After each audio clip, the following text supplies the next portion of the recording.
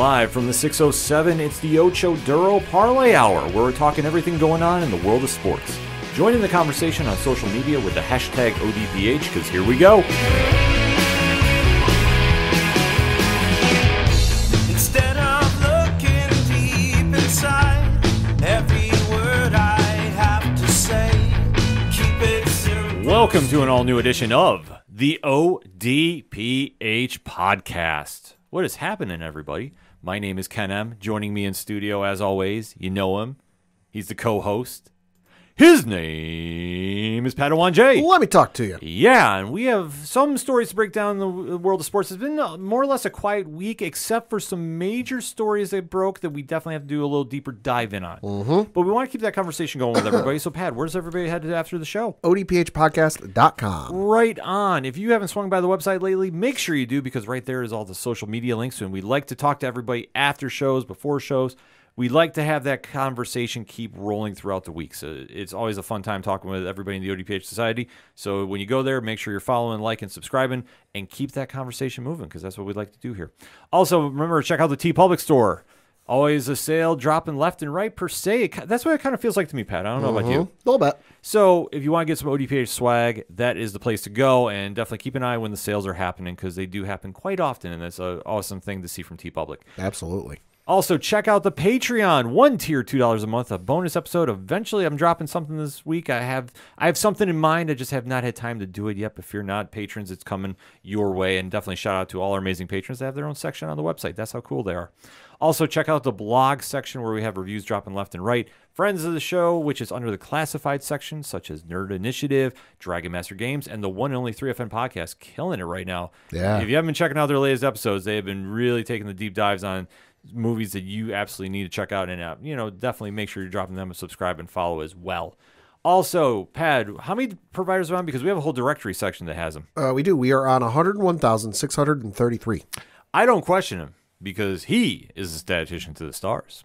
Also remember check out the music section of the show where you can check out such great musicians as brian wolff and the howlers doing big things down in austin texas Second suitor, Tom Jolo, who you hear every week on Turn a Page on Nerd Initiative YouTube.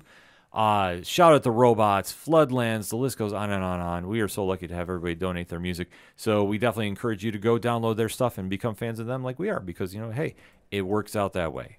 And for anything and everything that is the ODPH that I might have forgotten, well, it's at odphpodcast.com. And if you're using hashtags on social media, except for threads right now, make sure you use the hashtag ODPHpod. Threads is a whole different ballgame. Yes. So we definitely want to make sure until they allow more than one hashtag, you know, uh, hold off on there. But definitely use threads though. We are picking up a lot of steam there as well. But enough about that. Let's get into what you tuned in for, and that is a take a look at the world of sports. Mm-hmm. And this week is a little bittersweet moment, I have to say, Yeah. because it is the kickoff of the Major League Baseball season. Yes. This in North America always reminds us that spring is here, Summer's coming. summer's on the way. Put away the uh, hat and boots. Mm-hmm. And the formerly known, and at least in our opinions, as America's pastime is in full swing. Mm-hmm. Obviously, the NFL has surpassed it by leaps and bounds over recent years. Yes. To put it mildly, but baseball is still baseball, and it does remind us all about that timeless game that we have all grown up with. Mm-hmm. And we were going to do a little season preview, but unfortunately, a situation has happened that we have to give our opinions on based on the facts that we know about. Mm-hmm. And I want to stress that because I hate starting off a season like this Mm-hmm. or a preview, if you will. But my God, man, I saw this and I know you were sending it to me as well. Yep. And I'm just going, really? Yeah. In this day and age, Yep. this. Yep. Pad, what are we talking about? We are, of course, talking about the ongoing uh, situation surrounding the allegations, and we have to stress that right now they are still allegations because there are three investigations going on surrounding this, uh, surrounding Shohei Ohtani and his now former interpreter, uh, uh, Ippei Mizuhara. Yeah, this is a very, very messy situation. And convoluted. Yeah, because news broke about this and About a week ago. about a week ago, and I, it was like, wait, what? Yeah, that was my reaction. Because what has the accusations been? So to wind this back a little bit, you know, this first started developing because the thing we have to stress and the thing we have to make known is in the state of California, sports gambling is not legal mm-hmm. yet. Right. I'm sure it will be at some point, but as of right now, as of this recording, you cannot legally bet on sports in the state of California. Correct. So somehow or another, the federal government, the FBI, got tipped off to an illegal gambling ring that was taking place in the state of California. And while they were doing their research and looking into this and, and pulling at all the threads and all the strings surrounding this whole scenario, uh, Shohei Ohtani's name came up because they started looking through bank transfers and, and whose name was on what. And when it came into regards of the person who I guess you could say is one of the centerpieces of all of this, the bookie, uh, they saw on his wire transfers Shohei Ohtani's name listed on the wire transfers. So reporters started finding out about this and picking up on them. The way I've read it is they've known about this and have been working on stories about this since January. Specific dates I don't know, but that's the one date I've heard consistently over the last week or so. Is you know the reporters have heard about this and, and been working on stuff since January. My understanding is, and this is according to uh, Ken Rosenthal. Uh, according to Ken Rosenthal, Major League Baseball did not find out about this until last week, which is frankly quite astounding. Uh, but so they started doing. So the FBI is looking into this gambling ring out in California. They they're looking at the bank statements of this bookie, and they see Shohei Ohtani's name in there, and they see it for multiple wire transfers of five hundred thousand dollars. In total, it was like four point five or four point nine million dollars, It's mm-hmm. somewhere in that neighborhood. Right. So the reporters are finding out about this. The reporters are working on their story because this isn't just a story that like you can, you know, write a start, middle, and end. You know, hi, how you doing? Here's the details. All right, goodbye. You you know you got to do your journalistic integrity on this because you're essentially putting your livelihood on the line if you get this wrong. Mm-hmm. So they're doing their business, they're doing their livelihood, and then a meeting and an interview gets set up between uh, Tisha Thompson at ESPN and Ippei Mizuhara, who is uh, Shohei Ohtani's translator, his best friend. You know, they are 24 7, 365 with each other. It was even reported that, remember a couple years ago, there was the brief baseball lockout? Yeah. he technically under that lockout because Ohtani was a player, Ippei was a uh, employee of the of the club, technically couldn't see each other and interact with each other because the lockout was going on. The when he when the when he was with the Angels, the Angels fired Ippei, quote unquote, so that they could continue to see each other and hang out with each other. And once the lockout was over, they rehired him back in the same position. Th- That's how close these guys are. So an interview was set up between Ippei Mizuhara and Tisha Thompson at ESPN that lasted 90 minutes. Yo. And basically like, hey, what's going on?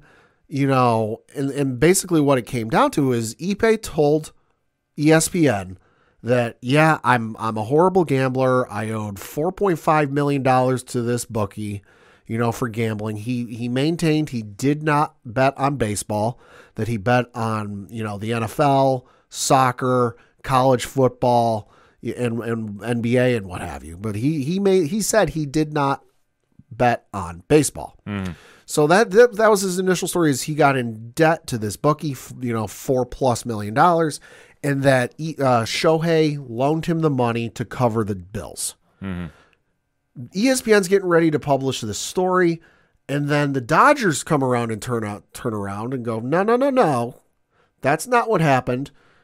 This this report is fraudulent. This report is false. You know, Ippei didn't uh, didn't get the money loaned from Shohei Ohtani. Ippei stole the money from Shohei Ohtani. And and Ohtani flipped back and forth between, you know, he, he initially didn't say anything. And then it came out that oh yeah, no, I had I had no idea what was going on. You know, I I had this money stolen from me. I never knew about any of this. So as of course now you've got in, in the days that led up since that, you know, people started digging through everything about Ippei because he changed his story about four different times. Right. And one of the things that came out was back in 2019 in the Angels media guide. Now, this is something that you and I can't buy, but this is something they give out to like the writers and the broadcasters. Sure. Uh, in case they're giving a little bit of commentary or background on players, managers, coaches, whatever. So the, the media guide for Ippei from 2019 reads, quote, Ippei Mizuhara is in his second season with the Angels as an interpreter.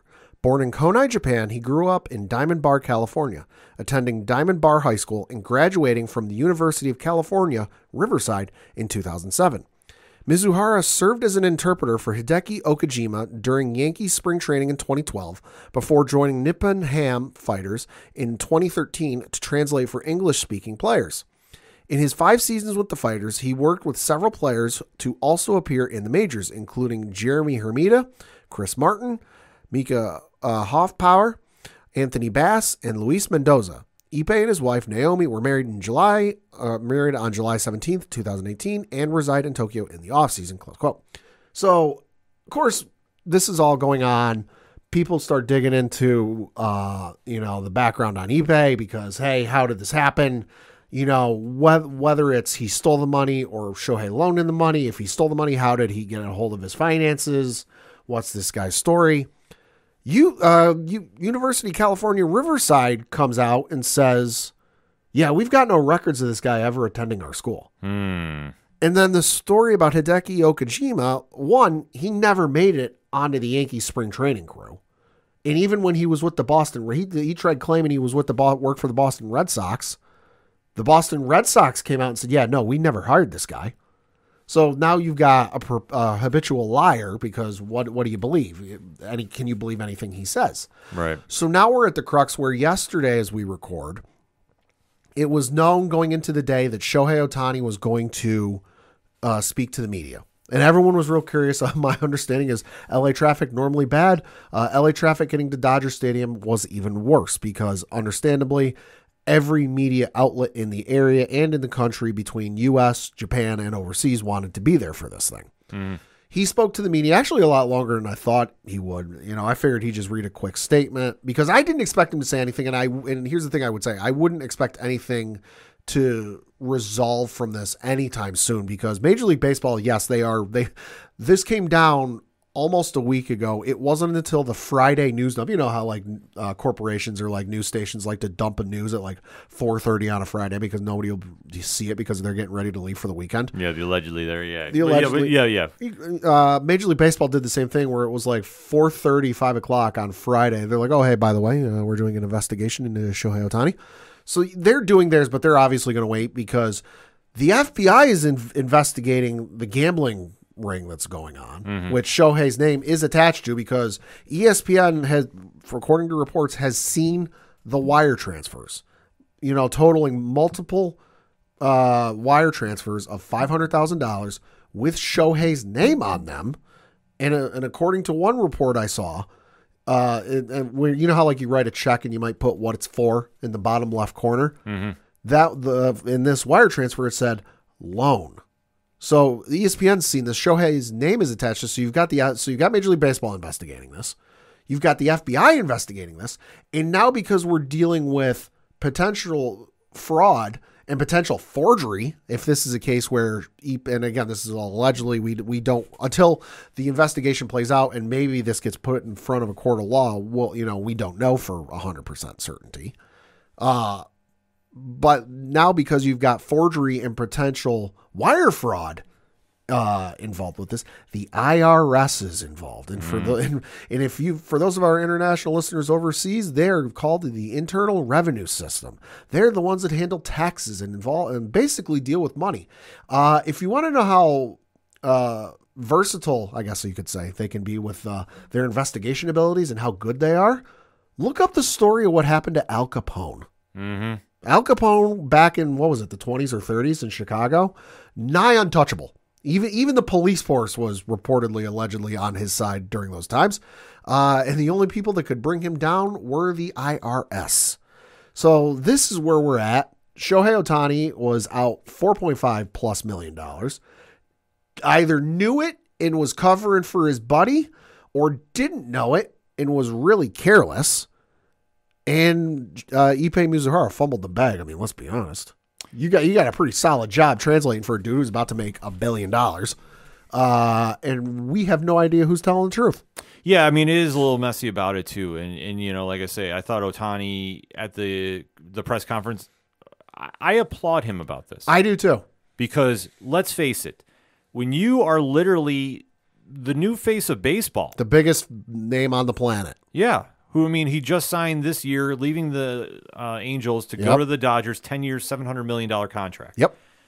Yeah, and obviously he has grown into that superstar position in the Yeah. game, and and he is most recognized as the face of baseball. He's the modern Babe Ruth. We have Yeah. not we have not seen a a pitcher be able to hit like he can. We've we've seen some pitchers hit some Mm. Sure. hit some home runs. High Bartolo Colon for one. right. But in terms of hitting him like he does, and I'm not talking like the height or the distance or just just the fact he hit like 40, 50 home runs or whatever the hell it was the last couple of years. We've never seen a pitcher in our lifetimes do that. Yeah, no, it's it's absolutely insane to see it. So to see him connected to this, Mm-hmm. it really overshadows the start of the season. And and this is a guy who is normally very private. Yeah, You know, very under the radar. very under the radar. We didn't find, you know, he's been in the league, you know, five, six, seven years. I'll have to look it up, whatever it is. Mm-hmm. We didn't find out till recently he got a dog, you know, and he was like, oh, yeah, I got a dog. He decided on the trip over, right before he went to Seoul, because the Major League Baseball season technically opened a couple days ago in Seoul between the Padres and the Dodgers. We didn't find out until then. He made a casual uh, Instagram post. It was like a, t- it was one of those like typed up text responses that got shared to Instagram. He's like, Sure. oh, he's like, oh, hey, by the way, I got, I got married. You know, it's, she's a very lovely woman. You know, And basically it was like, oh, she's not, she's nothing real crazy. It's just a nice woman. Yeah, come to find out, it's one of the bigger and uh, basketball players over in Japan. Like this is a very closeted dude that up until this point, you've never really heard anything bad about the guy. no, You know, he's he's fun. He's he's good to hang around with. He laughs. He pals around. Whatever else. Supposedly, he knows a little bit of Spanish, and that really throws some uh, fielders for a loop when they meet him for the first time, and they didn't know he could speak Spanish. yeah, You know, this is kind of the first, you know, black eye, I guess you could say, on the guy. yeah. I mean, this is just one of the situations that when you're at that kind of level Mm-hmm. and and you're the face of the game, Yeah, that you're the franchise player right now. yeah, and you have controversy on this level surrounding you. Mm-hmm. I mean, it's one thing when you sign the biggest contract in the sports history, yep.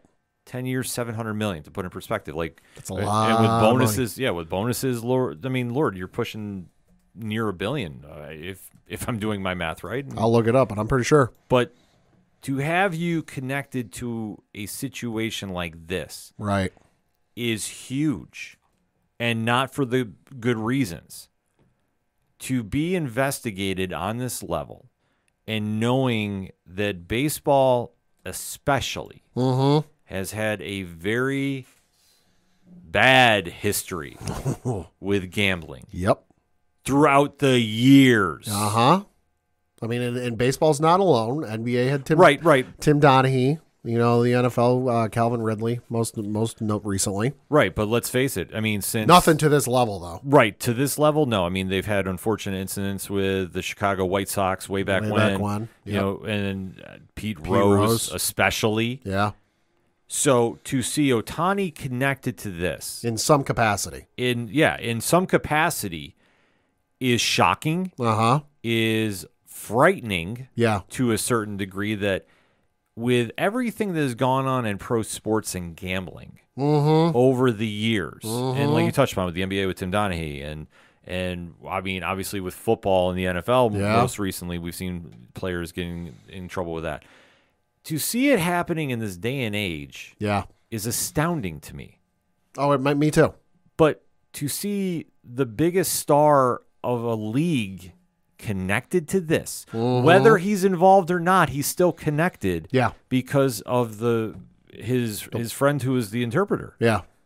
And if Ohtani didn't know about it because if the friend was saying, "Hey, could I get, you know, X amount of money for whatever?" Like, hey, I owe a lot of money to these these. Let's just say loan sharks. Mm-hmm. You know, I owe a lot of money to these loan sharks. If if if I don't pay them up, they're going to kill me. Like, I if that's the case, I totally understand it. Well, that's an extreme case, but it could be something like, "Hey, I want to go get a new car," or, Right, or he could right. do something like that. And when you're in a position like that, I could see. I mean, let's face it: if you have that money and you can spend it like that, and right. Ohtani, you know, if he cares about his friends and does it like and doesn't pay attention to it, Right. that's on him. Like seriously, he Right. could do it. We've seen this happen with other athletes. Yeah. That you know when and bad investments and, and or had family members or relatives or friends you know just steal tons of money from them because let's face it there are some athletes who are really you know weird and, and pay attention to all their finances and they got a pretty good idea what they got and they jot it down and they got a book or a spreadsheet whatever but then there are guys who they just don't care they uh, they just hand it out and don't worry about it or they pay somebody to worry about it yeah. So in this situation, somebody fumbled the bag seriously. right I don't necessarily know if it's Ohtani. Right. That, that well, that's the thing we don't know. We know his name is attached to this Right. because the wire transfers are there. The wire transfers were there enough for the feds to start looking into it and for the the writers to start picking up on it. ES like I said, ESPN has seen the wire transfers. Mm-hmm. And Ohtani's name is on the wire transfers. Now, whether he signed it or not, we don't know. You know, so all we know is his name is involved to this in some capacity. This, you know, whether he knows or not, I don't know. I'm, I'm, le- I hope he doesn't. I hope it's a case where he doesn't know. Mm-hmm. You know, but if it, it also wouldn't surprise me if he did know, was covering for his friend, and then didn't fully grasp the situation of how bad this was because there are rules in Major League Baseball against gambling. You can gamble on sports, not baseball, mm-hmm. where it is legal. Yeah. But you cannot gamble on sports, not baseball, where it is not legal. And it would not surprise me if he did not know this, although because it's supposed to be posted in every clubhouse, the home and visitor, that you're not supposed to gamble on on baseball and the rules about it. But the way I understood it, and the way it was uh, uh, said, uh, I believe it was uh, Ken Rosenthal was talking about this, is it's posted on a sheet of paper in English and in Spanish. Hmm. Reportedly, it's not posted in Japanese, which that could be a whole out, but you know we'll let that play out in the court of law. You know but so i hope it's a case of he he didn't know what he was doing in in that he was breaking some rules. He was committing potential wire you know whatever else with wire fraud and all this other stuff that he was just trying to help a, a friend. Mm-hmm. That is that his best friend in the world came to him and said hey i'm in debt a lot of money to these guys. Can you help me out? Yeah. and his he went absolutely. Because let's face it there was a report that came out a couple days or maybe a week before this in in uh merchandise and in uh what is it uh promotions or whatever you want to call it alone. Ohtani's making like 60 something million this year. He's got he's good. He's got the money. So you know for for Ippei to come to Shohei and say hey I need I need a couple million to cover some some gambling debts I'm in bad I can I can see as close as they reportedly were, and I don't think they're that close anymore. Uh, I can see that being the case, but at the same token, with you know the the bookie turning around and the story being that he was using Shohei's name, saying, "Hey, Shohei gambles with me to increase his uh, user base," I guess you could say. You know, between the the bookie lying, in between Ippei changing his story four times, it also wouldn't surprise me if Shohei was involved in this. I mean, that's just what we're gonna have to wait to see and, Yeah. and watch unfold. Like I say, my gut instinct right now, like I'm just my opinion. Sure. I, I do not have any We facts. do not know. No, we want to stress this too. My opinion right now is Ohtani didn't know about it. Okay. And I think the fact that he got up there and addressed the media for as long as he did, Right. That's the telling point because Yeah. if he really knew something about it, Yeah. I feel that he would have got caught saying something and Yeah. slipping. No, and I, I feel I feel the same way just because as somebody who used to lie a lot to his parents growing up. Bad grades, you know, other things of the like. When I was trying to hide the truth from them, I would come up with any way, shape, or form to distract them from finding out the mm-hmm. truth. When I was open and honest and had nothing to hide, I was an open goddamn book. Yeah. the fact that I expected Ohtani to get up there and go, This is an ongoing legal matter. I've been advised by counsel to not to mm-hmm. not comment. I'm focused on the season and performing well with my teammates. Yeah. Gone.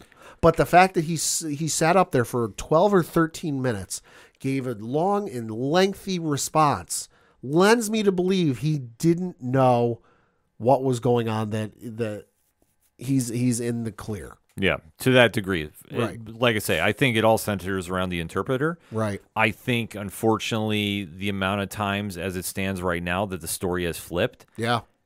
that is casting a public opinion Yeah. that you're the problem. Yeah. Well, and I know the other thing too. Some people are wondering, well, you know, if it was the case that he stole money, how did he have access to the to the bank accounts?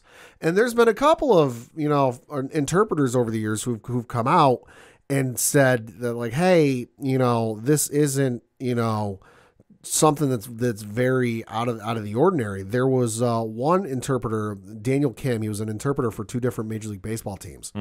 Uh, he said, "quote When I worked as an interpreter, I had to assist the the players on just about every aspect of their daily lives. These include opening bank accounts, taking them to the DMV to get licenses, and setting up utilities. I also carried their checkbooks on the road for clubhouse dues." Close quote. yeah. So I know some people are going, well, how the hell did he get a hold of Shohei's bank accounts? And, and to me, I, I, at first I wondered that myself because that seems oddly suspicious. Mm-hmm. But learning that, that basically, and learning over the couple of days that these interpreters are basically babysitters Yeah. and they, and they take care of these guys 24 7 365 while they're getting acclimated to a whole new country a whole new language and a whole new way of life mm-hmm. let's lets me sit there and go okay you know what that that starts to make a little bit of sense Yeah, no, that's what I say. I, I think it all centers around the interpreter, in my opinion. sure I think, you know, depending on how much access he had and how much he was on the up and up with Right. with Ohtani, I think that's what's all going to ultimately come out and play out. Right. And I mean, the other thing we don't know too is, you know, who else was involved with his financials? Did he have a financial advisor? Mm-hmm. Was there somebody, somebody like him? I can imagine there's like some, an entire division of folks who are just devoted to him at whatever bank he goes through. But like the fact that none of this, because this didn't take place over the course of a week or a couple days. This was l- a little lengthy, not years, but a couple of months that this- Right. this was going on this net like if he's got a financial advisor or somebody that takes care of his money that basically when it comes time to to eh, maybe monthly or yearly when it comes time for taxes goes all right hey here's what you made here's what you paid here's what you're going to get that you know just takes care of everything on the back end that like if he's got something like that they never caught it that the, the fact that $500,000 was being wired repeatedly and the bank never caught it like there's other stuff on the end of this and i'm kind of sitting here wondering how did this fall apart because i feel like something should have caught somewhere along the way Well, it might have. I mean, obviously, when you're talking about doing tax time, yeah that, might have been. Yeah. what- that might have been what triggered everything. That could be you have to kind of really look at the the big picture right now. But what it all centers around right now is Ohtani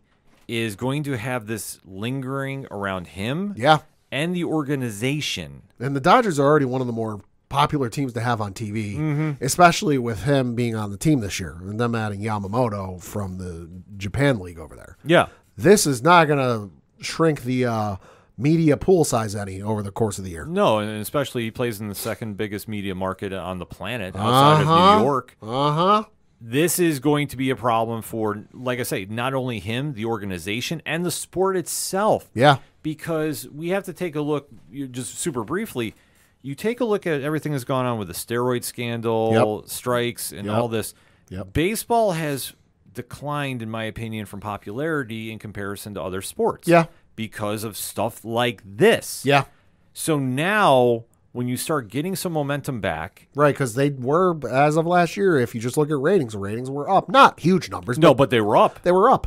Yeah, the fans were starting to come back. But now when you have your biggest star connected to something like this, mm-hmm. this is a problem. Ba- baseball's best hope for this is that you know he didn't know or didn't know the full truth of what was going on, mm-hmm. and and is scot free from this. The worst case example is he knew, or or not even he knew. It was he was participating in this. Yeah. that Ippei was just the middleman. Yeah, which if that's the case and that comes to light, uh, you're going to see one of the biggest fall from graces. There's already precedent for it Yeah, that in in this modern era, I don't think we've ever seen. because now and this now this that and if he if he participated in it, whatever happens after that then comes down to what did he bet on because the the rules in baseball are well we know if you bet on baseball what happens. Mm-hmm. The but what we don't know because I don't think it's ever happened, or at least not in the modern era, is according to the rules, if you get caught gambling on other sports, your punishment is up to the discretion of the commissioner. Yeah, And to that, there, to my knowledge, and hashtag ODPH pod, if you can think of something, to my knowledge, there is no precedent for that because nobody's ever really done it, or if they have, they've never gotten caught. Well, that's the thing because I was going to say the Pete Rose scandal, but that was after But he was, gone. That was after. He, well, that was while he was manager, and he was Right. bet, he was betting on baseball. He was betting on games he managed. Right. So I mean, like I say, this yeah, this is uncharted water. And and and Ippei is in is maintaining he didn't bet on baseball, but whether I believe that or not, I want to just stress the dude changed his story four times. Yeah. Well, I mean, I I don't know. yeah, it's going to be a question, but I guess we can kind of just wrap it up with this. I mean, if he's guilty, and we stress if, what happens to Ohtani? Well, it probably if if Ohtani's guilty, depending on what it is, um, if if he's guilty and he participated in it, uh, he'll probably be suspended for, I would say, upwards of a year. You know, I, I could see, I could see, you know, 100, 120 games, whatever it ends up being. You know, if it's obviously he bet on baseball, he's done. Yeah. You know, if it comes out through because the feds aren't going to play cute with this. I listen. I well, I love No. baseball. No way. I love baseball and all this, but if this was just Major League Baseball investigating this, they would sweep this under the rug so fast your head would spin. Mm-hmm. But the feds are investigating this. They're not going to care what comes out on the other end of this. They want to get to the bottom of this, and the, and so does the IRS. yeah. The fact they're involved. Yeah. It- so, but if it so if it comes out that Ohtani bet on baseball, he's done. Mm-hmm. He will he will be, you know, the contract will be voided, you know, and and the Dodgers will not have seven hundred million dollars sitting in their pocket, burning a hole, you know. But if he just didn't bet on baseball, he bet on other sports. Well, then he'll be. I'd say probably a year. He'll be hmm. he'll be suspended. Yeah, I think unfortunately, like this is going to be a court case we're going to have to follow, and I and Yeah. I and I hate saying that with sports. Yeah. I really do. But this is going to be a investigation like we've never seen Yeah. because with the level that Ohtani is at Uh huh. and the ramifications involving him that the FBI and powers that be are going to take their time. The only thing I think close to what we've seen was the Balco stuff. You know, And that's yeah, but- twenty years ago, but that was pretty clear cut and dry. right. So that's that's what I say. But in, in, when it In terms of this, there's so much gray area. yeah, that's the whole thing. That like this is such uncharted uh, uncharted water. Yeah. That we have to sit back and watch and let the case play out. So, like I said, we give the opinions of what we had at, as of right now. We don't know facts other than what Right. has been re- what has been reported. Right. But we are going to have to watch this moving forward Mm-hmm. because this is going to be a case that really is going to redefine sports and Right. gambling. Yeah. And this is going to be a landmark case Mm-hmm. that is going to be used in reference for years to come. Yeah. And it's wild to say that we're in this day and age. And I'm not trying to over over sensationalize it. It's just I don't know if people understand the gravity around this. I mean, if you're not an NBA or an MLB fan, you know, let's just say you're an NFL fan, this would be the equivalent of like a Patrick Mahomes, Brady in his day. You know, uh, I'm trying to think of some of the other big stars. Travis Kelce. You know, it's like them coming out and they gambled on the NFL or they gambled illegally. you know, if in the NBA, it's like if LeBron James or or you know LeBron James or like a Russell Westbrook or you know like a Luka Doncic yeah. or something did that in the in the NHL. It's like if Sidney Crosby or Ovechkin or Auston Matthews or one of those guys gambled on sports. You know, just take whatever sport you are a fan of, pick the biggest athlete or athletes, and then imagine how you would react or, and what the reaction would be if it came out that they were gambling illegally. Yeah. It's wild to say this all is happening but right before opening day, but Yeah. this is going to be something that unfortunately we are going to have looming over the season mm-hmm. moving forward. Yeah. I mean, I know we were set to talk about opening day, Pat. If you got anything you want to kind of kick in about it, to Yeah, I mean, just some end on a high note. And on some high notes, there are some uh, potential milestone moments we might see. Well, some of these uh, we will fucking see this year. Uh, but in 2024, Aaron Judge, of course, the outfielder of the Yankees, he is 43 home runs away from 300. Wow. So, so hey, could see that this year. Listen, the one year he hit 60, and the one year he hit 50 really help. Uh, Juan Soto is 29 walks away from most all time by a player under 26 years old. As long as he walks towards that contract for uh, an extension with the Yankees, that's all that matters. Absolutely. Uh, Spencer Strider of the uh, Atlanta Braves is 17 strikeouts away from 500 strikeouts. Corbin Burnes of the Baltimore Orioles is 130 strikeouts from 1,000 strikeouts. So these are all going to happen. It's just a matter of when. Uh, Clayton Kershaw is 56 strikeouts from 3,000 Wow. crazy. Uh, and then Mike Trout is 32 home runs away from 400 home runs. It's insane to think about, and that's the stories we should be talking about. Yeah, we got some great games going on. Uh, technically, the season's already started, although that was you know two games over in South Korea. You know, at three in the morning, one, one time zone, six a.m. another time zone. Uh, but Thursday, you've got the Brewers taking on the Mets, Angels taking on the Orioles, Braves taking on the Phil- uh, Phillies, Tigers taking on the White Sox. Twins taking on the uh, Royals, Yankees taking on the Astros. Fuck them. Uh, the Pirates taking on the Marlins, Giants taking on the Padres, Cardinals taking on the Dodgers, uh, Blue Jays taking on the Rays, uh, Nationals taking on the Reds, Cubs taking on the Rangers, Guardians taking on the uh, Athletics, and then the Red Sox taking on the Mariners, and lastly, and certainly not leastly, the Colorado Rockies taking on the Arizona Diamondbacks.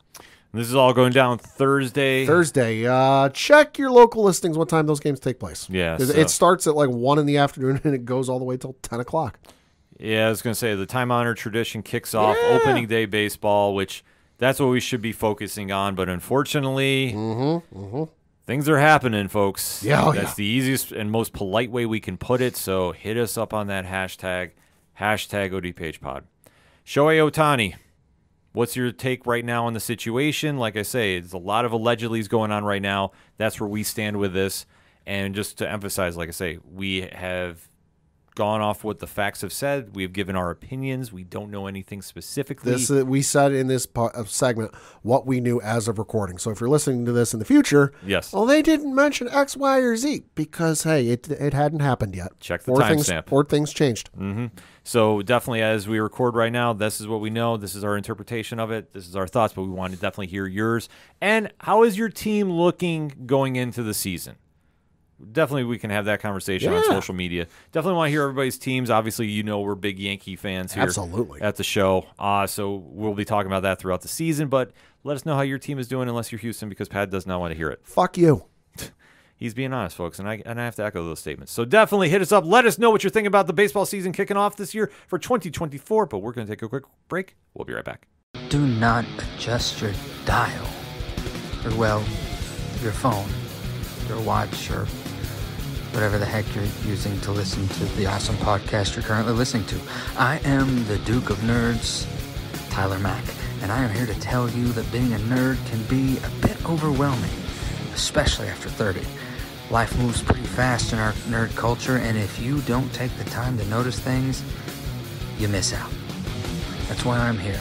As your Duke of Nerds, I am charged with educating, enlightening, and entertaining you on all things nerdy. I do it by running the 30 to Nerdy podcast. 30 to Nerdy is a bad cast Company production and currently playing wherever you cast your pod. Follow along each episode using the hashtag 30 and NerdyPod. And check out what all is going on at 30nerdypodcast.com. Whether it's DC, Marvel, comics, or video games, I have got you covered. So tune in now. Cheers to you, nerds. Kilman back for another segment on this edition of the ODPH podcast.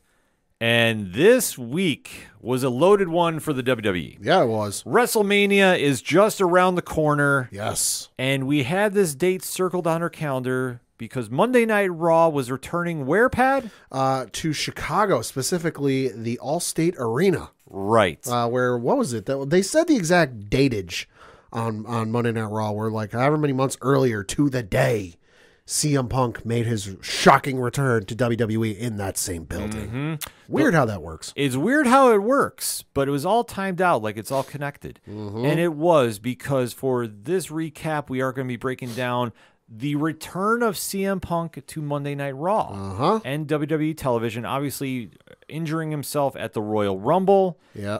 throwing a little mix into the plans for WrestleMania because obviously he was scheduled to be a big part of it. Yes. And to see him come back, it was one of the most anticipated shows of the weekend. And this is coming off a strong SmackDown where they've been doing a decent build for Cody versus Roman. Hashtag finish the story. Mm, I mean, it's been okay. It's well, It, it might crack top 10. yeah, I would say it, it, it's it's definitely up there. But when you involve one Dwayne the Rock Johnson, Yeah. Hollywood's biggest action star Yeah. in the mix. Yeah, it yeah. definitely helps matters. A lot of people are talking about the show. About the only thing missing from Rock being there is beating his opponents with some of his own merch. Mm-hmm. And I'm talking Zoa and that skincare line he's just started. Give it time. We still have a couple shows before. That's true. Fuck. yeah, we still have some time for that. But as we break down the show, I mean, obviously everybody was really geared up for the CM Punk promo that happened. It didn't open up the show, which I was No. I was not super surprised at. I was, I'll be honest, I was hoping, and I threw this uh, idea out to a buddy of ours, where, because Drew McIntyre has been the ultimate uh, shit poster on the internet. He has been fantastic. Holy hell, if you haven't seen the video of him at Mindy's um, bakery, you'll see what I mean. Uh, but no, I threw out the idea that, like, listen, we know Punk's going to be there. Open the show with Cult of Personality. Let it let it linger, and then oh wait a minute, it's not CM Punk, it's Drew McIntyre, yeah. ultimate heel heat. But now we got Cody to start the show. No, Cody came out obviously addressing what was going on Monday night or mm-hmm. Friday night, I should say. Yep. And that was the whole he was coming to SmackDown alone and going to confront Roman, and Yep. then it got a little messy. Yeah. because obviously Jey Uso and, and Seth Rollins came in the mix along with Jimmy mm-hmm. Uso and Solo mm-hmm. Sikoa. So they did really kind of play it off about like, okay, what was going to happen, and and Cody gave this very impassioned speech about Yep. finishing the story again, and he was going to make you know he wasn't going to get screwed over. He was going to make this the time to finally finish, and then somebody crashed the party Uh huh. that we were not expecting. Well, I mean, I I was I wasn't surprised because I remembered that they had announced uh, he was going to be showing up on Raw. I just didn't pay attention to when it was. See, I, I, thought it was going to be last night, and everyone's like, "Oh my god, we didn't expect him to be here." I'm like, "Yeah, we did." I was like, "He was, he announced he was coming back." no, he was announced for the Brooklyn one next week. Which I totally missed the aspect of them saying Brooklyn, and I was like, "Oh, okay." Yeah, but was, like the moment happened, and I'm like, "Why is everyone freaking out? We knew this." Mm-hmm. And then they said, "I'm like, oh, okay." and then suddenly The Rock appeared. which holy hell can we talk about their their presentation and their camera work Absolutely. because listen no disrespect to kevin dunn you did a lot of work over the years good bad and otherwise. But the best thing to happen to wwe in the last 10 years uh pr- on the production side of things has been his leaving the company. My god that shot with rock coming out and he's standing on the entryway and his titantron or whatever you want to call it, it's going off behind him. And it's like a wide shot and you got cody standing in there in the middle with like the singular light on him and the rock just off his one his one shoulder you could st- you could see the two in the same shot and the rock standing there waiting oh my god i need that framed Yeah, no, that was iconic. The one thing they've done, and I'm, and I'm glad you brought that up, is the production work has really taken a change since God, Kevin the- Dunn left. the the one shot long camera where they go to follow the wrestler like through gorilla Yeah. into the back oh my god Brilliant. I Absolutely it. brilliant. Love it. And the one thing, too, which I don't know if a lot of people picked up on last night, the Titantron screen Yeah. was shorter. Yeah, It was. I well, I think they went with because it's in the same building the uh, Survivor Series was. I think they went with a similar setup because they knew Punk was going to be there. Let's pack the house. Oh, absolutely. But you know what? I think moving forward, they should do that. I I agree with that. Because- Listen, I love the giant screen with the giant graphics and the giant everything, but like, I like I dig the smaller look. Yeah, and it didn't take anything away from the No. production. Like that was No. the, that was the key thing. Like if they kept the the big screen for SmackDown, I'd be okay with it. But for Raw, I think it works better. Do I need to see Drew McIntyre's uh, name in like size 325 font? No. No. Does it? Is it still effective with what they had last night? Yes. Oh yeah, I mean that's what I say because everybody's invested about the story, so you Yeah. don't you don't need that much. The less is more approach. And when they did that shot with The Rock, That's what really stood out. And he just came to the ring. He whispered something to Cody and then left. The man pulled a Chris Jericho. Yeah, Showed up, said nothing, left. brilliant, absolutely brilliant. And that was the that set the benchmark for the show. and and and then kept the intrigue going because Jackie Redmond backstage caught up with The Rock as he was getting ready to quote unquote leave, and said, "Hey, listen, the world's wondering what did you say to Cody?" And he goes, eh, "Well, uh, in regards to that, you're going to have to ask Cody himself." And then went to find Cody a little later in the night, and Cody's like, "Yeah, yeah." uh, he, he wanted to keep that between himself and uh, Dwayne. Yeah. So they definitely built up a an interesting dynamic to the story Yeah. for the show. But then it really got down to business about nine o'clock, and that was the midway point. That's what we were all waiting on. Yep. And that is when CM Punk hit the ring Yep. and came out to a hero's welcome in Chicago again. Uh, it's the crowd was definitely lit lit up for him. They were feeling it. Yeah, which I mean, obviously that's his home turf. Yeah. and he this is nothing home new. field advantage. Yeah, and obviously if he's going to come out and we haven't seen him in a while, this is a perfect place to do it. Mm-hmm. He got in the ring and went vintage punk. Yeah, he did. And Holy it- shit. And if anybody was questioning about why you know he was such a big deal to come back to WWE, it's this reaction right here. Uh huh. That love him or hate him, he's good at what he does. Yeah. He's great at what he does. I should Yeah, say. he's real good on the mic too. Yeah, so like I say, he will draw ratings. He will get the crowd to react to him.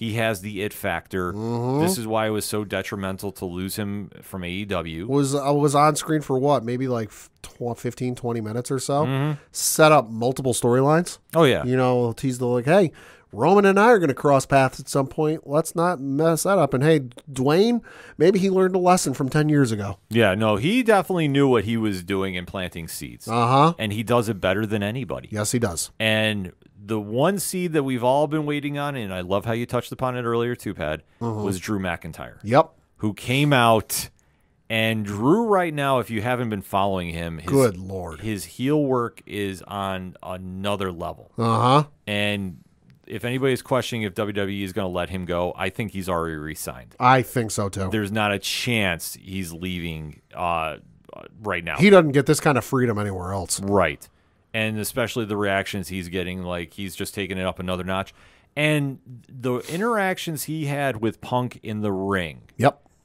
it reminded me, and I, I made a tweet about this, and Pat, I want to get your take. Okay. This is like the Joker and Batman. Yes. Agreed. This was complete Heath Ledger and Christian Bale. Yes. Yes. And because what Drew is doing is Drew is saying, You complete me. He went full Joker Yeah. on him Yeah, he did. and just was expressing about the insanity part, which I mean, Drew has now become so obsessed with CM Punk. And it's funny because what is when Drew and Seth are in the ring together, mm-hmm. Drew has just been hammering home for weeks now, ever since the press conference in Vegas the week of the Super Bowl. He's been hammering home to Rollins like, listen, you're too focused on the bloodline. You're too focused on taking down Roman. You got to focus on me or else I'm going to beat you. But at the same token, Drew's as focused on Punk as Seth's focused on Roman because Drew's got the shirts with with the the Barry Allen Stephen Amell meme, except it's CM Punk's name and it's Drew McIntyre's face doing the peace sign. He's the one who like, oh, savior of WrestleMania, and on the back, take out CM Punk check mark. So like, dude, don't throw stones at glass houses because you're just as focused. And it got brought up like, hey, listen, you got to focus here. Yeah. No, it was, it was brilliant about how the setup was here. Yeah. The only thing that I knew really drew a reaction more so than I thought it was going to Yeah. was there was a line by CM Punk. Uh huh. And when Drew was getting referred to as the chosen, Chosen one, one. Punk goes, As soon as the chosen one was ut- uttered with Punk in the ring, I went, "Oh no!" Yeah. I knew where this was going. this got set up. Uh-huh. And Punk, Punk, Punk, Punk had a line drive to right field. Yep, who chose you? Who cho- who who cho- who called you the chosen one? Go ahead, say his name. Yeah. That was such an incredible on the fly. Drew almost broke. Oh, well, yeah. I mean, You could see him. He's like, "Oh shit, I didn't expect that." no, he, he set that one up perfectly. Yeah. And it was one that really caught fans off guard. Uh huh. And me, I thought it was brilliant. Oh, it was amazing. I thought it was brilliant. I was like, there was no chance in hell, pun intended, that person's name was going to get said. Hell no. There's no chance. so Punk knew he had him there. Yeah. But you know what? To Drew's credit, and Well, this and goes. Punk, Punk was probably of the opinion, what are they going to do? Suspend me? oh yeah, I'm well, already out. well, that's the whole thing. Punk knows he can get away with a lot, Uh-huh. and I'm sure. I, I guarantee you this. I'm sure he ran the line by Triple H. Oh, I guarantee you. Yeah, Yes. and Triple H is laughing all the way in the back there Uh huh. because let's face it, we know that person is no longer involved with the company. Correct. He's not going to get mentioned on TV, Nope. But people know who he is, Uh huh. and you can't if escape you know, it. if you know enough of the history, you know who it is, and even if you don't, you stick around on the internet long enough, somebody will explain it. So it made perfect sense to do it, and Yep. I thought it was I thought it was brilliant to say it because that's what Punk does is he walks that fine line of breaking kayfabe like Mm-hmm. nobody else. Albeit though, Drew held his own. Yes, he did. Drew had some great punchlines in there. In fact, He goes to he goes to sit on the commentary table. He's knocking over the monitors. He's knocking off the cover. The cameraman's coming around for a better shot, so he's not filming his back. And and Drew looks at the camera guys. Don't goes. Don't film up my skirt, you perv. yeah. But I Sorry, thought kilt. I th- I thought his best line though was you don't do drugs, you don't drink, but you spend all your time in rehab. Uh huh. And well, and I love how after Seth came out, and this this was just brilliant between the three of them, where Seth's like, "Listen, I think it's only right we have CM Punk involved in a match in our match at Mania in some capacity." And and there was a small part of me that was like, "Oh, is he going to pull a Cena and be fucking ready, uh, super ahead of schedule, and and get." Uh, throughout like, hey, you can be in the match if you're medically cleared, and then like night off, he's medically cleared. But no, they threw out like, oh, do you want him to ref? And everyone's like, yeah, yeah. Or no, they first asked if you wanted commentary. You know, do you want him on commentary? And everyone, there was pretty uh, substantial cheers for that. And then uh, the, the fans started chanting ref, ref, ref, ref. And, and Seth paused and went, guys, I don't know if you know, but that's his counting arm. And referring to the one he injured. Punk gets down on the ground with his good arm and counts one, two, three. I love McAfee went, oh, that's a quick count Yeah. you know, but he got back up, and then Seth was or uh, Punk was uh, honest and went, you know, I don't know if I can be a ref. I don't, I don't think I can be impartial between these these two. Uh, I forget what what did he say? He swore. Oh, he, he drops the bomb He, there. he he swore or something that they bleeped it out, and then without missing a beat, Drew picked up the mic and went, "PG, bro, yep. keep it PG." No, they kept it really interesting, and I think for a match that we've all, if we're diehard fans, we've been keeping track of. Yeah, But let's face it, it's not the marquee one of the night, but it's going to be a good one. exactly, it's a main event. Yeah, It's just not the main event. right. But still, I thought they did enough to get fans fully invested in it. Yeah. I think, you know, honestly, as weird as it might sound, the only person I thought came out bad in this was Seth Rollins. Yeah, a little bit, Like, not not terrible. not terrible. 'Cause- 'cause but in he- comparison. because like i said the one thing he's been hearing from drew for weeks and weeks and weeks is hey you're too focused on roman mm-hmm. and then punk comes out and and all of a sudden drew's got blinders on and all he sees is punk and what happens seth is in the ring with him medically cleared super kicks him and then curb stomps him Yeah. like hey dude you might want to look in the mirror here Exactly. So I thought that segment was brilliant. I really thought it stole the show and really led to a strong finale because we went back to Cody and Rock. oh yeah we did And that one I know got a lot of heat for. sure And I I mean obviously it made a lot of sense yeah because with what was going on with Cody getting Mm-hmm. beat up by The Rock, and this is more following up about the Rock concert and, and the Yep. and the promos The Rock has been Yep. doing, Yep. really laying it in personally, which I know some fans have been very skeptical of. yeah But I have to remind people about this though. The Rock is from that Attitude Era. yes he is This is something for him that is natural. yeah And in that time period, if you talk to an Austin, you know, Uh-huh. you talk to anybody that was a superstar in that era, yeah this is secondhand. yeah it is So this is not like so controversial right that it, it goes all over the place. Well, you know what it reminded me a little bit of in, in regards to Rock beating up Cody. As, as somebody who I've said before, I didn't see the Attitude Era when it happened live. I didn't start till WrestleMania 30. But it reminded me a little bit of like the build up to when Roman took on Triple H at WrestleMania 32, mm. where leading up to like Roman beat the holy hell out of Triple H.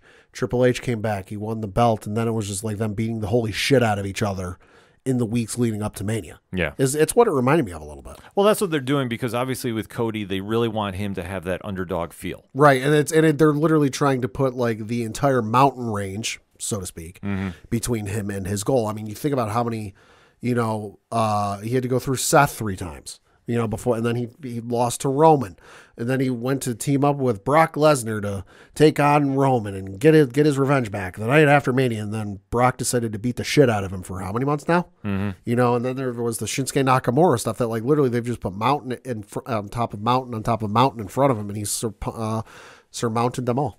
Well, that's the one thing that you want to do to build up the storyline because Yeah. Ro- Roman is on that next plane. Like Yes, he is. He is somebody that when he loses, that champion is going to be the one look to carry the company for a while. Uh huh. And Cody is built for that now. When he came over from AEW, let's Yeah. face it, I don't think they were ready to, to rush him right to the top, so to speak. I don't know if they have fully understood how ready for the main event he was. Yeah, I mean, we know because we watch all the shows. Right. So it's like for us, it was it was a no brainer. Right. But to see how Triple H has really built him up and really sold him to the WWE universe. Yeah. That when you see Cody now, let's face it, a lot of the fans don't think AEW when No. they see him. No.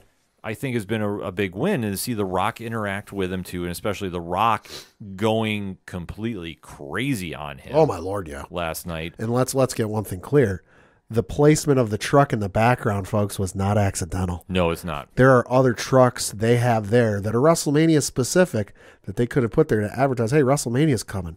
But they decided to put the one with John Cena and Steve Austin's face in the background. Mm-hmm. Any other time of year, might be eh, might be a whole bag of nothing. But we're less than two weeks out from WrestleMania. Ain't nothing accidental at this point. Right.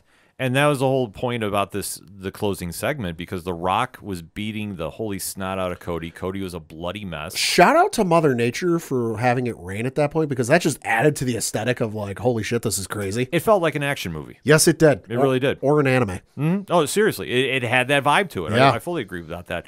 And then after he got out the Mama Rhodes weightlifting belt and whipped Yeah. Cody with it and, Yeah. and and wiped the blood on it like that. I mean, it was just the perfect way to end that. That shocked me a little bit because I knew he said he was going to do it, but I figured he'd save it for like Mania or something. No. I didn't expect that for a random episode of Raw. Holy shit. No, I think what they want to do is they want to carry so much momentum into Friday night that, Yeah. that Seth Rollins will show up and he'll do something like I would not doubt he calls out Roman or Rock and they try they Mm. try teasing a one on one. Yeah. Just in the meantime to build something up. I mean, it won't happen because of No, reasons. No. But you'll see something like that, or Cody comes back, he'll jump through the crowd and, and do some kind of schmaz there. Yeah. But they're doing a great job about selling him as the underdog. That going into Mania, there's no way you can't get really behind him. Mm-hmm. But it's very interesting how they want to play this because if Cody doesn't win, which I mean is a possibility, Right. Where do you go from here? The other thing to keep in mind too was in the background of one of the backstage segments uh, after the Punk McIntyre Rollins bit was when DIY, uh, New Day, and then R Truth and Miz were backstage. If you didn't see it, Drew McIntyre was in the background talking to a certain wise man, Yeah, I saw that. Which might be something, might not be something, just something to keep in the back of your mind. well, I think that creative, especially Triple H, wants to keep fans guessing. Sure. we live in this day and age where everybody is so amped to learn spoilers and Sure. not watch the show play out. Sure. That I think that they want to keep fans completely on the edge of their seat going into Mania that we don't know when we're watching the show mm-hmm. what we're going to be watching. Yeah. And that's great because if it's too predictable, it's not fun. Right. And that's something that I think Triple H has really emphasized with this run that we're seeing The Rock go into a place that we haven't seen him go in in many years. Yeah. Even beyond that place many years ago. Mm-hmm. And we're seeing Cody Rhodes really emerge as the superstar they want him to be. Yeah. Whether it's enough to get the job done at Mania, I mean, I would think so. You would have to. I mean, we'll we'll be given the preview next week, but I mean, Because anything anything involving Rock after Mania is going to be hard to do because his filming schedule is probably going to ramp right back up again. oh yeah, So he'll be he'll be out of action, so to speak, for the rest of the year. yeah. So they'll have to really make And, sure. and then at that point, where do you go? If he, let's just you know entertain the idea for a minute. What if Roman retains? Where do you go? You know, uh, they got a year out of Cody losing. I don't. They couldn't do it again. You know, no, who I knows? Mean, I mean, I know there's been talk about extending it to the Madison Square Garden house show. Oh, okay. It did, I mean, that ties back to where Dusty originally got screwed over for the belt way back Right, when, and right. and do something like that. I mean, maybe, but I don't, I don't. Uh, I, I just I think it's not, like now is the time, but I mean we'll get into it a little later. Yeah. uh, as the week is going on, Yeah. but I mean, what a Monday Night Raw to cap things off. I mean, I think we hit all the big stories that were going on. Anything else that kind of stuck out to you? Uh, Ricochet, JD McDonagh, match of the night. Holy fuck! Oh, That- easily. That was insane. Candice LeRae, interesting to see what she's got going on. Uh, if you saw the little video bonus feature after the show, uh, Indi Hartwell might not be totally down with that. I love the fact that they're pushing Candice as a heel. Yes, Candice is one of the best wrestlers on the planet. yes, and I think that she just hasn't found that gimmick yet at WWE. I mean, she she absolutely destroyed it on the Indies. Mm-hmm. So to see her get some time on TV and she's running with it, I think is huge, and especially in that women's division, they really need a a re, like a true heel. Yeah. because Rhea Ripley is transitioning into a face whether they want to or not. yep, And even with the promo she did with Becky Lynch, which was great, mm-hmm. The crowd was still kind of behind Rhea, which was Yep. nuts. yep, So I don't know how that's going to play out. yeah, But to see Candice get on there, I thought was great. And I agree with you. Ricochet getting TV time and, and having great matches against Judgment Day. that fucking Canadian destroyer. Oh my god. He is just a freak of nature. Oh my god. Like the stuff he can do in the ring when you give him time and an opponent that I mean, JD McDonagh. Listen, if you don't uh, truly appreciate what he does, Mm-hmm. he sells moves like nobody else on that roster right now. Yep. The closest person we had to that was Dolph Ziggler, Ziggler. but Ziggler's gone. Yep. So that being said, JD and him is magic. I don't mind seeing that match get ran back at some point. Also, shout out to McAfee for calling uh, Ricochet a Puma the last two yes. weeks. Yes. I love that. Shout out to Lucha Underground. God, I missed that show. But a show that I won't be missing is WrestleMania as it's coming up. I mean, WWE is clicking on all Yeah. cylinders. NXT is picking up some steam as well. Yeah. Going to stand and deliver. So if you're a WWE fan, there's a lot to win right now. And even if you're an AEW fan, I know we don't talk about them because of reasons. That they've been improving. I want to see them continue on their success right now because they've had a, a pretty solid dynamite this past week Yeah. they need to continue on that moving forward. But the talk of this week is uh, WrestleMania, so definitely hit us up on the hashtag, hashtag ODPHPod. What was your takeaways from the CM Punk promo on Monday Night Raw? How about Cody and Rock getting really dramatic at the end of the show? And what else has been going on that you want to talk about in the land of pro wrestling? We'd definitely talk about it with you here on the ODPH. And if you want even more pro wrestling talk, make sure to check out every Thursday night, 8 p.m., except for our WrestleMania special edition, which was announced. That'll be taking place at 7 p.m. Eastern Standard Time on Nerd Initiative YouTube, Wrestling Night Live, where Rich from 3FN, our guy Nick, aka New Guy Nick, uh, and yours truly will be talking uh, everything in the land of pro wrestling. We definitely having those conversations with everybody as well. So make sure to check it out and let's talk some pro wrestling, shall we? But first, we got to take a break. We'll be right back.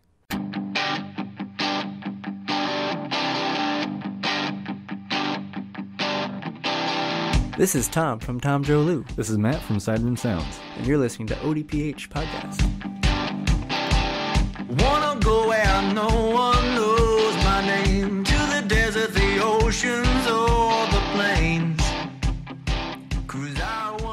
Coming back for the final segment on this edition of the sports edition of the ODPH. That's a mouthful, so I'll let Pat take it away. Yeah, I got uh, just a local minute this week to talk about. And of course, coming up very shortly here, next week, uh, Friday specifically, as we, uh, we- record, is the start of the baseball season here in Binghamton. Rumble Ponies Baseball is back. They're opening the season at home for a three game series against New Hampshire. Uh, they have games on Friday. April 5th, 6:35 p.m. Eastern, Saturday, uh, April 6th, at 105 p.m. Eastern, and then Sunday at 105 p.m. Eastern. A couple promotions they got going on obviously. Uh, the Friday game is the first game of the season, so it will be a fireworks game as well. Uh, then you've got a uh, it, they're going to be giving out magnet schedule giveaway. This will help you keep track of the Okay. games if you want to go to a game this year. Also, should note singing the national anthem on opening day is going to be Alyssa Crosby, Oh, okay. who is a local uh, Binghamton local who was on Team Reba from this season of The Voice. Uh, so she will be singing the national anthem there. Uh, then, when it comes to Saturday, it is Trapper Hat giveaway. Uh, the first 1,000 fans in attendance will receive a Trapper Hat to keep you warm in the colder weather. Uh, so definitely got that going on. It is also a downtown doubleheader. Uh, a little teases of uh, the Binghamton Black Bears, but this uh, says home run goal. The Binghamton Rumble Ponies and Binghamton Black Bears are teaming up for a downtown doubleheader. Get a ticket to the Binghamton Black Bears game and Rumble Ponies game for a package deal. Uh, and then Sunday is Kids Eat Free Sunday. So this one it says every Sunday kids eat free at the ballpark thanks to our friends at McDonald's Mac Clark. All children 12 and under will receive a voucher for a hot dog and small soda. Uh, and then it is also Senior Stroll Sunday. So it says every Sunday at Mirabito Stadium is a home instead in uh, Senior Stroll Sunday. All fans 60 and older can take advantage of discounted ticket specials at the Visions Federal Credit Union starting gate box office. For the first 30 minutes that gates are open, all fans can take a stroll around the warning track. Uh, so definitely got that going on. And like I said, that starts on Friday, April the 5th. Baseball season almost here. Love going to the games at the stadium. man. Like I say, if you get a chance to go to minor league baseball wherever you're Yeah. at, like majors is great if you live in a big city, but Yeah. minor league baseball, there's always something fun about it. Never know who you're going to see that could turn up on the majors. Very, very true. Very shortly. And then we got to talk some hockey. And looking at the standings for the Federal Prospects Hockey League, that is, of course, the league our local Binghamton Black Bears play in. Another week, still in first place. Let's go. And of course, uh, with this past weekend, the Binghamton Black Bears did clinch the Empire Division. Uh, so they are in first place through 48 games played uh, with 31 wins in regulation, eight losses, seven losses in overtime.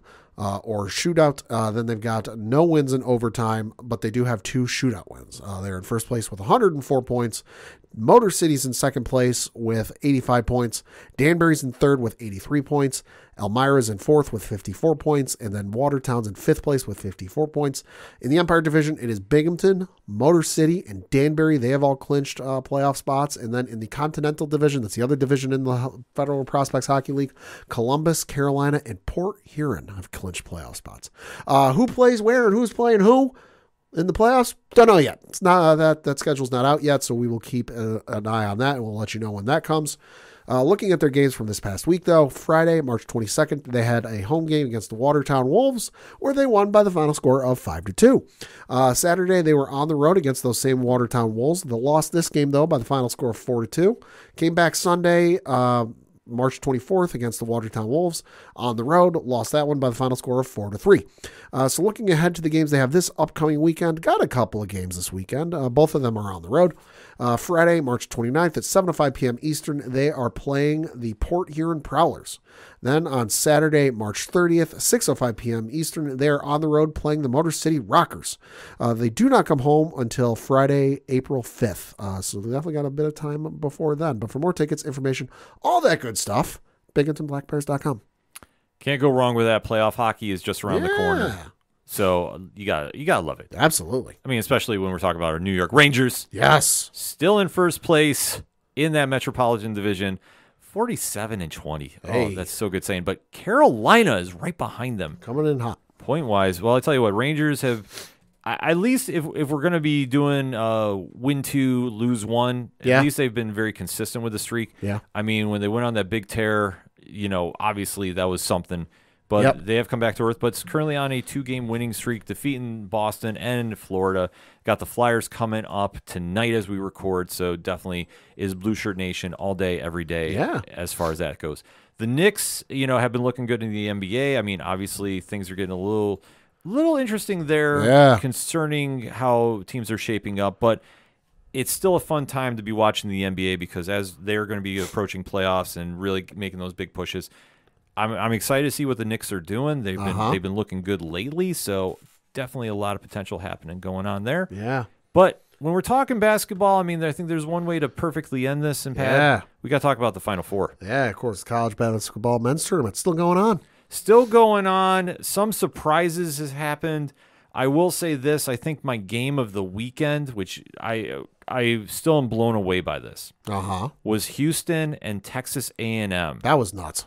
That was the number one versus number nine in the South Division. Houston, who I have said before, I think is my is my pick to win. Uh huh. What a game! Like if you wanted, That went on super late too here on the East Coast. I was laying in bed watching the end of that game. and the dramatics of it. Like if you want a, just a prime example of like why March Madness matters. Yeah. you watch this game, Houston is up big. I mean, they they let the lead kind of slip away.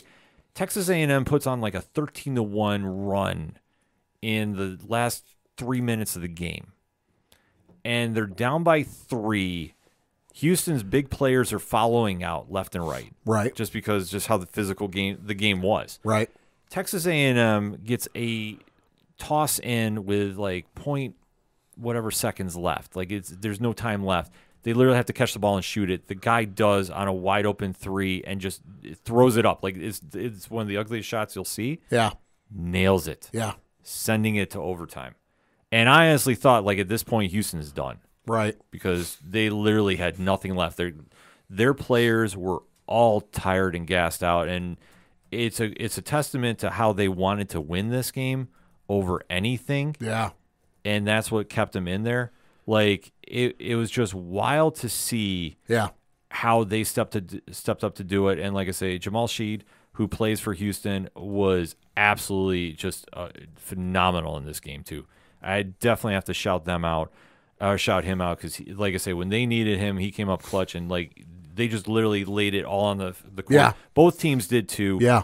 But it was just wild to see how the game played out. Yeah. And in comparison, I mean, was there any games that really stood out to you? I mean, not really necessarily any games with a player that stood out to me because, admittedly, I am not that familiar with Purdue basketball. You know, being where we are in the in the eastern East Coast, you know, we we get a lot of ACC, a little bit of Big East, not too much Big Ten uh, basketball. Football, that's a whole other story. Between you know Penn, Penn State being down there, but basketball, eh, not so much. But I was not familiar with Zach Edey, I think is how you say his name. Saw the gameplay, saw their one of their first games over the weekend, and went, "Holy fuck, who is that dude?" Because I had not, like I said, I had not heard of this guy. He's a senior out of Toronto, Ontario. Uh, listed listed height seven foot four. Wow. Oh my god! I saw this kid and I was like, I don't know if this kid's any good or not, but he looks impressive. Yo, You know, I'd so say. I, I saw a little bit of his gameplay. He impressed me a lot. As someone, admittedly, about all I know about Purdue is boiler up. Yeah. You know, that, that's about all I know for Purdue basketball. Impressed the hell out of me. So good luck to that kid.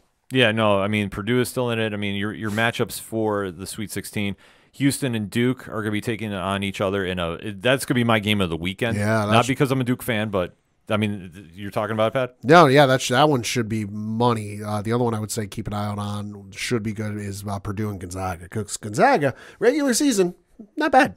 When it comes to tourney though, usually pretty good. Gonzaga put on a statement win against Kansas. Oh yeah, they did. That was embarrassing. Yeah, I've- 89-68. I've never seen a Bill Self team look that bad in a, in a playoff game like this. yeah.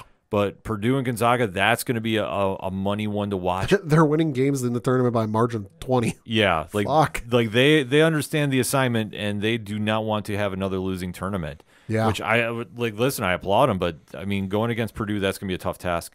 Creighton and Tennessee. Well, we That- know one person who's rooting for that game. yeah, I, I would expect. I, I have been getting messages from the, the the king of the nerdy South. Uh, looked it up. Gonzaga, Purdue. Purdue is favored by five and a half. Ooh. Well, I mean, like I said, you're going to see a lot of those close margins in this one. Yeah. I don't think there's any real big Cinderellas. I mean, you can argue Clemson and Arizona. Clemson's Creighton to a certain degree, I would say. Well, Creighton was Like the I, third like, I, like I know they're three, but like, do you really expect Creighton to go that far? No, I didn't. I mean, they're flying under the radar, but they're they've looked great in the games. I mean, I thought Oregon was going to take that one until late, Right. but you know, Yeah. Creighton, Creighton Yeah. did what they did. They do. Like I say, when when I caught the game, I should say, Yeah. that one uh, there's a lot going on There's this a lot going on. Yeah, but Clemson, Arizona, North Carolina, and Alabama. Boy, That- that, that's two of your favorite teams to root for. Yeah, that's what I say. I'm, I'm, I'm cheering for whoever's coming out of the other side of the bracket. double elimination. Like, listen, I'll be happy with that. And then Illinois and Iowa State, and then UConn and San Diego State. So, I mean, we got some fun basketball this weekend. I so hit us up on the hashtag hashtag ODPH pod. How's your team doing in the bracket? How is your bracket doing? My bracket is still good. I know for our group, uh, I am in second place. Uh, but then in, the one I really care about on, on ESPN, I'm in the first take group. I am beating Stephen A, Molly Qerim, and Chris Russo, and that's all I care about. Take your victory lap, Pat. I am better than Stephen A, Mad Dog, and Molly. That's all I care about. Tweet it out. Let them know. That being said, for anything and everything that is the ODPH, you can find it at odphpodcast.com. That's it for sports this week. So for the one and only Pat J, Fuck the Astros. I'm your host, Ken. Thank you as always listening to the ODPH podcast. We'll see you next time.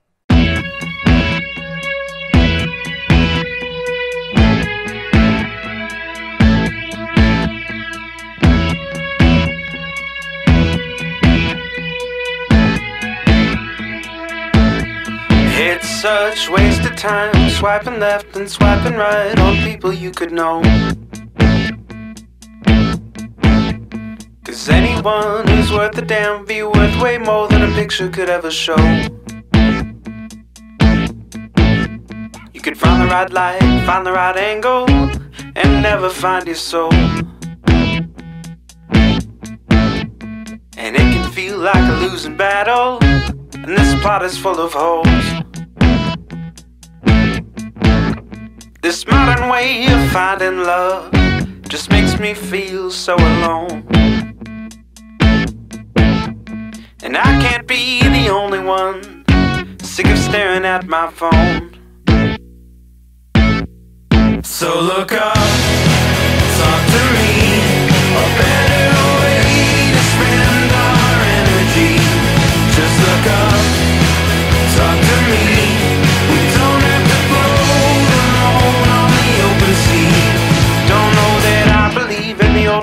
Everyone has just one true love.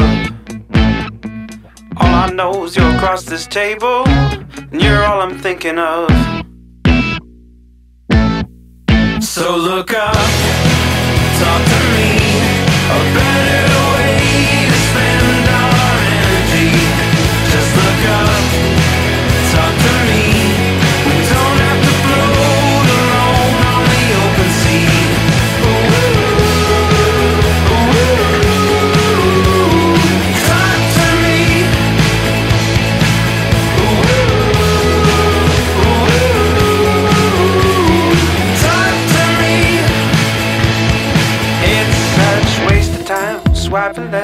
swiping right on people you could know.